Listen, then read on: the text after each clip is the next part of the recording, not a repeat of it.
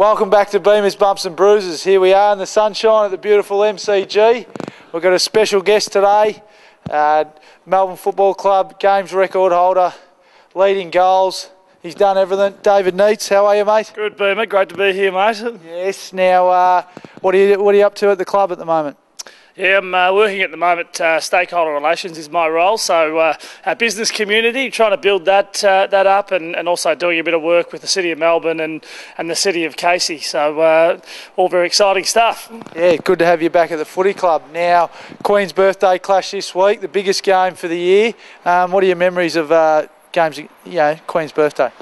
Yeah, mate, it's um, it's obviously a huge game every year. Um, big game on the calendar for all of our supporters and, and our players. Look, I reckon I've just been thinking about it uh, in the build-up actually, and probably the best memory that I've got is um, the big wizard Jeff Farmer kicking nine in the second half against uh, I think it was 2000. So. Uh, was a massive game, and uh, he absolutely erupted. So, got to say that's uh, probably my favourite memory out here on Queen's birthday. Yeah, I was actually there, here that day, and I was sitting right down there behind the goals.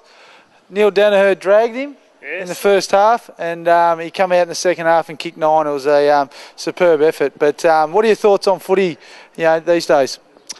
Mate, it's uh, it's amazing, really. I've, I've only been retired for about three years or so, but the game seems to have changed so much with uh, you know, the forward press, and there's so much going on that's uh, that's different uh, different style of game to when I played the bulk of my footy. Um, you know, my game out of full, out of the square at full forward, leading up at the ball, and uh, now you know the the uh, the back lead's the king, and that's the one that um, that causes sides most trouble. So um, it's it's amazing how quickly and fast the game keeps developing and, and moving. But but um, particularly on last Friday night, Beamer, I liked the way the boys played and uh, hopefully there's more of that to come this week. Yeah, let's hope so. Let's hope so. Now, what are you expecting uh, this Monday?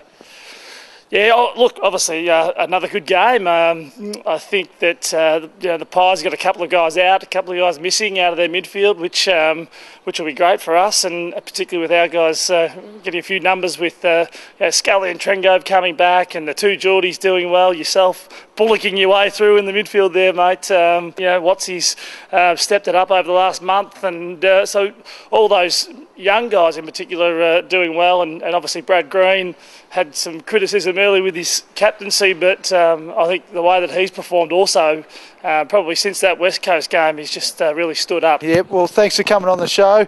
You're a legend of the footy club, and uh, make sure you tune next week, Beamers, Bumps and Bruises.